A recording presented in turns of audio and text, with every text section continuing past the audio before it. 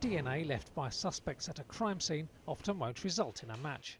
But new forensic tests on blood and teeth samples can predict a perpetrator's age to within four years and could help police narrow their hunt. The blood test, for example, has uh, an accuracy of about 3.75 years over a whole age population, meaning that uh, from uh, newborns up to about 91 years of age, our accuracy is about 3.75.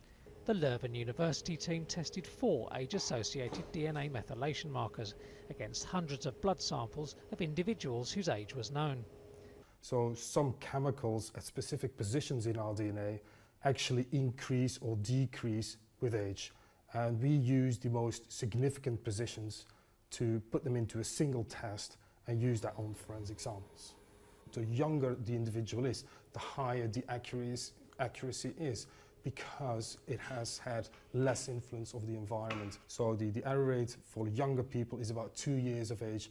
Teeth sample tests predicted individual ages with an error margin of 4.86 years. Pinpointing a suspect's age range should help police rule out large sections of a population and potentially many prime suspects. The test could also be used in cold cases where police have ceased active investigation. Police departments in various countries have shown interest.